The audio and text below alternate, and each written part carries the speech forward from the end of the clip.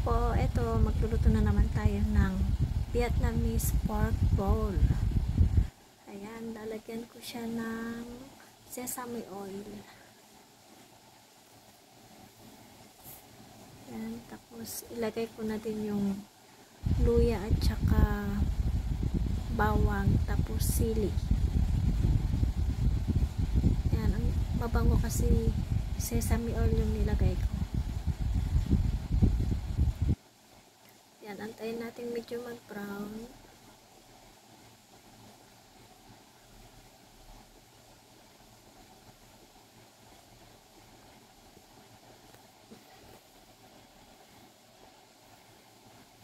Yan, pwede na ata ilagay yung tapos giniling na baboy ang nilalagay ko. Subukan nyo ito, napakasimpleng gawin. Tsaka ang sarap talaga. Ayan, lalag ko na yung giniling na baboy.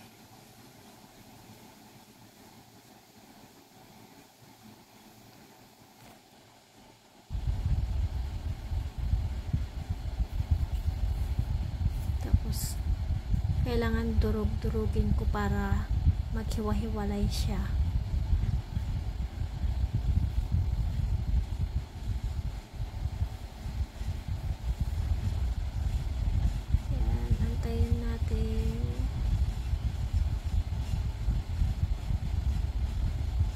Maghiwa-hiwalay yung giniling.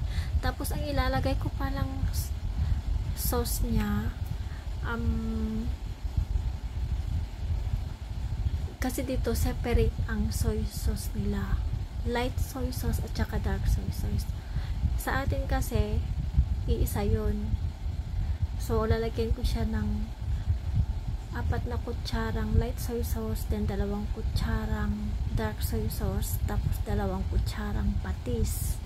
Then lalagyan ko siya ng chili flakes yung sili na dried. Tapos asukal din na isang kutsara. Tapos paghalo-haloin ko yun. Para pag nag brown medyo nag brown na yung karne yun lalagay ko na yun. Ang dali, ang dali lang lutuin. 5 minutes. Yan. Dinurug durug-durugin ko yan para mag separate sila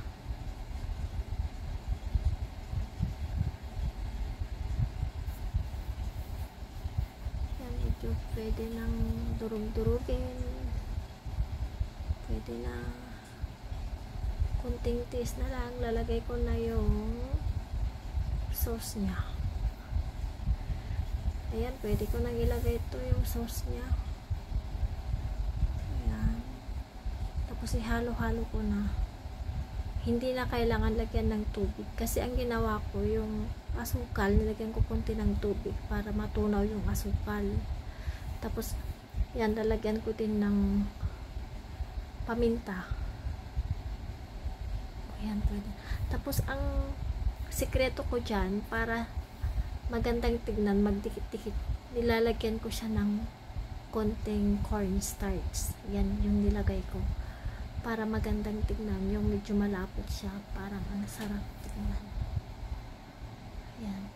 Tapos, ang side dish nila, pipino tapos na-grated na um, carrots tapos naglaga ako ng dalawang itlog kasi tag-isa sila.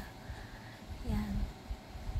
Yun. Tapos yun na lang ang ano nila. Tapos yan nilagyan ko siya ng green onion tapos sesame seeds. O diba? Ang bilis. O yan na siya o subukan nyo talaga ang sarap. O tapos yan yung ano na yung dressing ay yung side dish nila